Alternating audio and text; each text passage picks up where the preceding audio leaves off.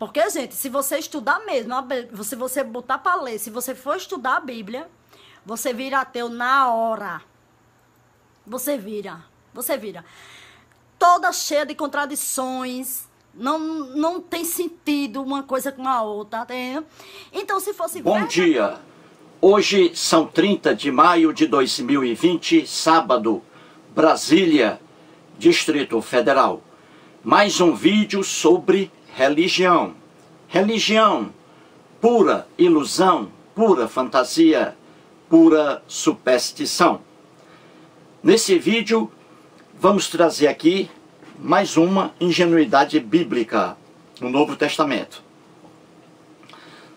o que vou tratar, o que vou mostrar aqui, melhor dizendo, o que vou mostrar aqui, não se trata de uma contradição, mas de uma ingenuidade. Ingenuidade. Antes disso, é bom aqui a gente mostrar um fato fora da Bíblia, relativo ao que vou mostrar aqui. Já disse em vídeo anterior, e isso levou até o Léo Marculino, o ateu Léo Marculino, que foi um cristão fervoroso, ao riso. O Léo Marcolino possui um canal no YouTube com o título Léo Marcolino. Então, a... anteontem fiz um vídeo e mostrei aqui um exemplo, né? Que a gente encontra nos livros de história do Brasil. O Dia do Fico. O Dia do Fico. Você encontra também na internet, no Google, pesquisa. Coloque assim, o Dia do Fico. Isso aí ficou famoso no Brasil.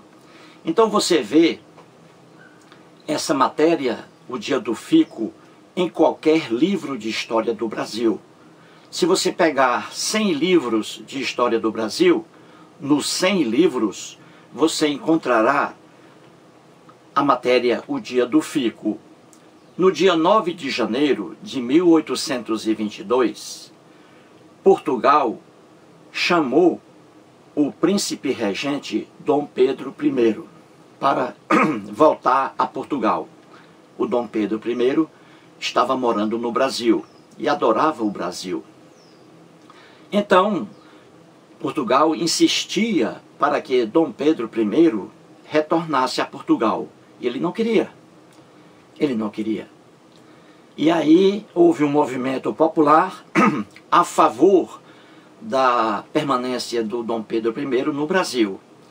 Um movimento pelo povo e também por políticos aí da época. E Dom Pedro I não foi. E ficou famosa a expressão dele. Isso está em todos os livros de história do Brasil, porque foi um fato histórico. Então o Dom Pedro I disse assim, abre aspas, se é para o bem de todos e a felicidade geral da nação, estou pronto. Digam ao povo que fico. E aí ele ficou. Entendeu? Então essa expressão, se é para o bem de todos e felicidade geral da nação, estou pronto. Digam ao povo que fico. Isso aí está em todos os livros de história do Brasil. Porque isso é história, gente. Agora vamos aqui mostrar uma fala de Jesus que não é história, lenda, que é a tentação de Jesus pelo diabo, pelo Satanás. Diabo algum existe, gente. Satanás algum existe. Isso faz parte da criação humana. É o homem que cria deuses, demônios, Satanás, diabo, anjinhos, céu, um lugar de morada, inferno, um lugar de tormento, é, lobisomem, saci pererê, boitatá. O homem cria esses personagens. Então vamos aqui fazer um exemplo com aí a frase de Dom Pedro I. Vamos ver aqui o que foi que Jesus disse ao Satanás. Que uma das coisas aqui que Jesus disse a Satanás quando Satanás, tentando a Jesus, veja a idiotice humana. Jesus levado ao deserto para ser tentado pelo diabo. Veja que coisa mais sem lógica. Jesus não era onisciente para os cristãos? Ele, ele não já sabia o que iria acontecer? Para que colocar Jesus no, no deserto para ser tentado pelo diabo? Se Jesus já sabia o resultado, entendeu, gente? A inocência do, da criação religiosa aqui, do cristianismo, a inocência é gritante. É gritante. Então vamos aqui. Da, vamos pegar aqui uma das falas de Jesus para o diabo e vamos verificar nos quatro evangelhos. Muito bem. Eu disse que se você pegar um livro de história do Brasil, 100 livros, 100 livros, nos 100 livros você vai encontrar essa expressão de Dom Pedro I. Se é para o bem de todos e a felicidade geral da nação, estou pronto. Diga ao, digam ao povo que fico. Você vai encontrar isso nos 100 livros de história. Aqui temos quatro evangelhos. São quatro relatos lendários e não história. Entendeu? E não história.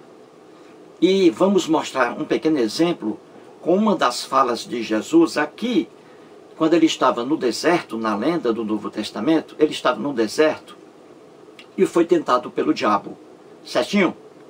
Muito bem, a primeira coisa logo, você vê, são quatro evangelhos, não são quatro livros de história. O, o Bart de Ehrman sempre mostra aqui, doutor em cristianismo, professor de cristianismo há mais de 30 anos nos Estados Unidos, em Chapel Hill, na, na Carolina do Norte. Ele diz em seus livros, ele foi um cristão fervoroso e abandonou o cristianismo. Ele é doutor em cristianismo, diretor do departamento de cristianismo de uma faculdade norte-americana. Então, em seus livros, ele diz que os evangelhos, os evangelhos, é, se contradizem em vários pontos e incluem material não histórico. E o Bart de Herman, ele é doutor em, também em história. Então veja aqui, vamos pegar os quatro evangelhos, que são quatro relatos lendários, cópia e cópia sobre cópia. Então você tem Mateus, Marcos, Lucas e João. Veja bem, quatro evangelhos. Vamos ver isso aí como se fossem quatro livros de história. E você vai morrer de rir. Vamos pegar aqui uma fala de Jesus, aqui, que está diferente em outro evangelho. E uma fala de Jesus, várias falas. Isso aqui é o primeiro vídeo. Então vamos pegar uma fala de Jesus que não corresponde ao que está em outro evangelho. E veja bem, você tem quatro evangelhos aqui: Mateus, Marcos, Lucas e João. Os, nos quatro deveria acontecer, deveria aparecer o mesmo relato, não é? O mesmo relato? Se fossem livros de história, Mateus, Marcos, Lucas e João, esses quatro livros de história, entre aspas, apresentariam a mesma fala de Jesus, não é verdade? Mas não é assim. Isso aí estou mostrando ao longo de inúmeros vídeos. Não é assim. Porque isso não é história. Entendeu?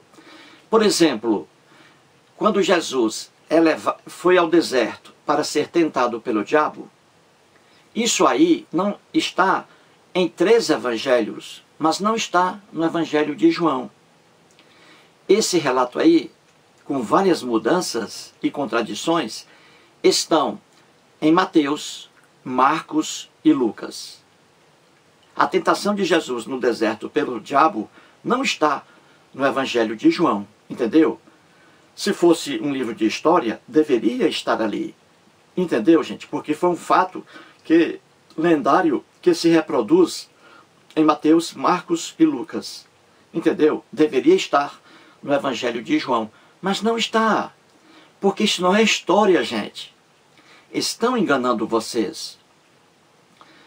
Já mostrei aqui o caso da mulher adúltera, né? aquela bobagem que está no Evangelho de João só está no Evangelho de João. Aquilo também é uma lenda. A mulher adúltera, prestes a ser apedrejada.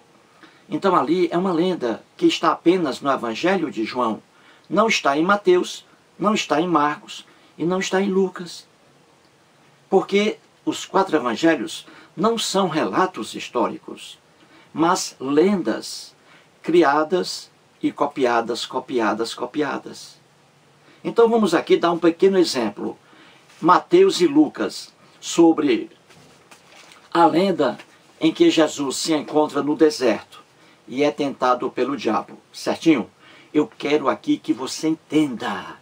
Eu estou explicando como se estivesse diante de uma criancinha com 5 anos de idade. Porque o meu objetivo aqui é passar uma mensagem e que seja uma mensagem clara para que você entenda. Então vamos lá.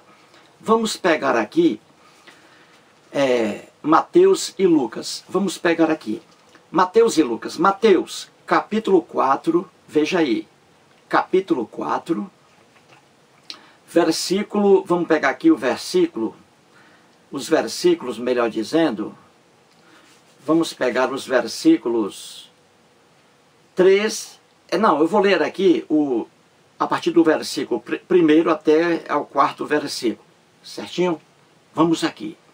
Então vamos lá. Mateus, capítulo 4, versículos 1 a 4. E aqui está a observação assim, o título, A Tentação de Jesus. E abaixo está aqui mostrando os outros evangelhos que contêm o mesmo relato é o Evangelho de Marcos e também o Evangelho de Lucas, como eu mostrei aqui. Essa tentação de Jesus não está no Evangelho de João. Porque isso, gente, não é história. Certo? Então vamos lá. Diz assim: A seguir, foi Jesus levado pelo Espírito ao deserto para ser tentado pelo diabo. Veja a ignorância aqui. Jesus, para os cristãos, era um ser onisciente, que sabia o que iria acontecer a um segundo. Entendeu? Ou a um milésimo, uma hipótese aí. Então, para que Jesus ser levado ao deserto para ser tentado pelo diabo? Se Jesus, sendo onisciente, ele já sabia o que iria acontecer. Veja como religião é uma coisa completamente irracional, ingênua demais. Mas vamos aqui. A seguir foi Jesus levado pelo Espírito ao deserto para ser tentado pelo diabo. E, depois de jejuar 40 dias e 40 noites, teve fome. Jesus ficou com muita fome. Então o tentador, que é o Satanás aqui, o diabo, o então o tentador, aproximando-se, lhe disse, disse a Jesus: se és filho de Deus, manda que estas pedras se transformem em pães. O diabo aí falou para Jesus. Jesus, porém, respondeu: Está escrito: Não só de pão viverá o homem, mas de toda palavra que procede da boca de Deus. Diz aí Jesus ao Satanás. Então vamos pegar aqui, para esse vídeo, essa fala de Jesus. Jesus dizendo: Não só de pão viverá o homem, mas de toda palavra que procede da boca de Deus. Fecha aspas aí. Então foi isso aqui que na lenda de Mateus, Jesus diz para o Satanás, para o diabo. Certinho? Agora vamos ver aqui a mesma fala de Jesus reproduzida aqui no livro de Lucas, no Evangelho de Lucas. E veja aqui uma pequena diferença. Veja aqui, vamos lá. Lucas, Lucas, capítulo 4, capítulo 4. Vou ler aqui até os, os versículos também de 1 a 4 em Lucas. Então vamos lá. Aqui traz algumas diferenças, mas vamos pegar aquela fala de Jesus.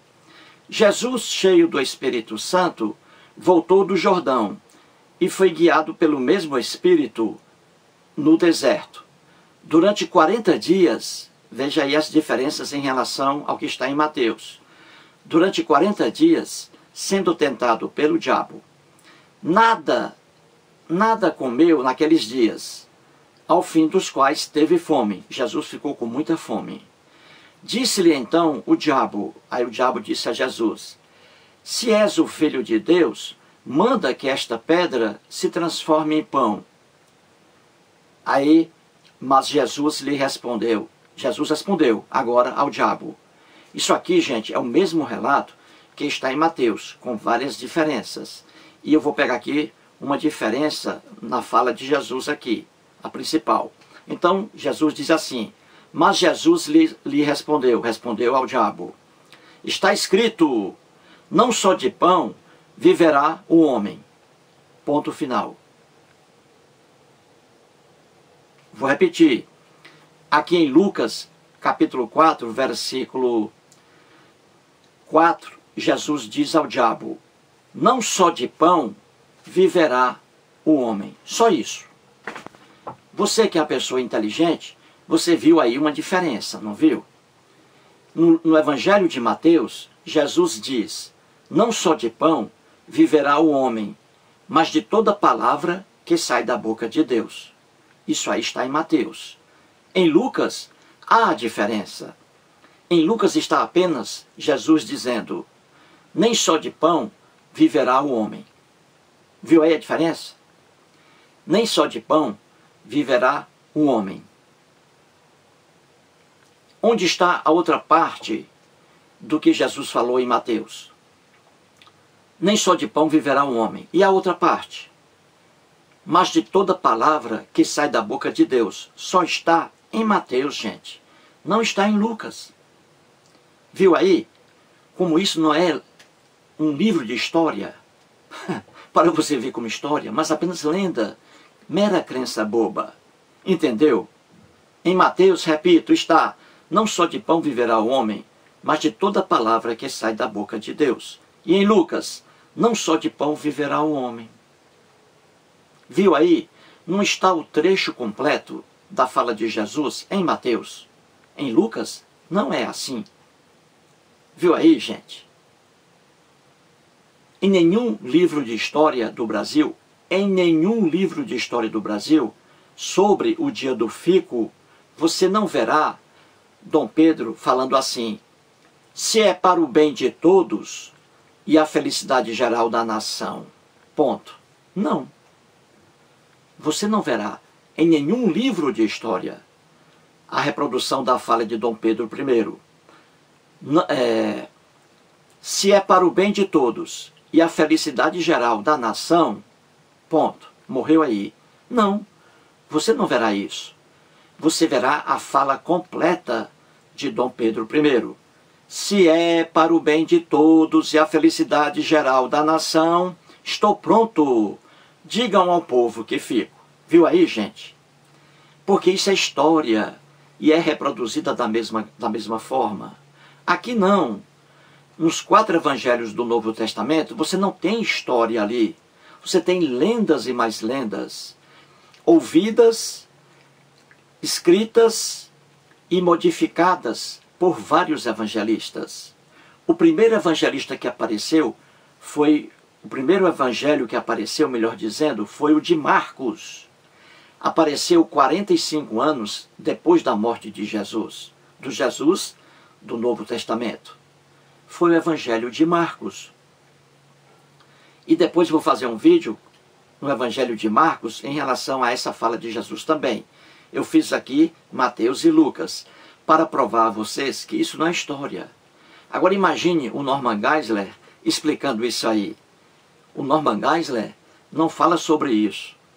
Imagine se alguém dissesse, o Léo, o Léo aí que adora o Norman Geisler, né, o ateu, ele dissesse, Norman Geisler, diga-me diga uma coisa, por que a fala de Jesus que está em Mateus não foi reproduzida na íntegra no Evangelho de Lucas? Por que, que Lucas diz apenas que Jesus falou apenas não só de pão viverá o homem?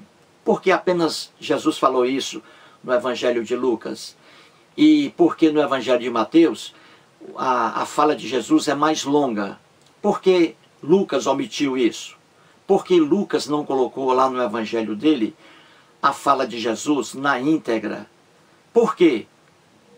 O que diria o Norman Geisler para o Léo, hein? O Norman Geisler poderia dizer assim, não, é o seguinte, você tem que supor, Léo, o Norman Geisler fala, falando para o Léo, não eu. O Norman, Geisler, o Norman Geisler dizendo para o Léo, Léo, você tem que supor o seguinte, Lucas não colocou na íntegra a fala de Jesus que está em Mateus, porque Lucas, naquele momento, estava muito cansado, estava com sono. Aí ele começou a escrever: Não só de pão viverá o homem. E aí ele não conseguiu, por causa do sono, ele não conseguiu escrever o resto, mas de toda palavra que procede da boca de Deus. Lucas não conseguiu escrever isso, porque estava com muito sono. E aí ele dormiu. Gente, mais um vídeo e muito obrigado. Falar que a Bíblia não tem erros e contradições é desonestidade pura ou pior, é canalice.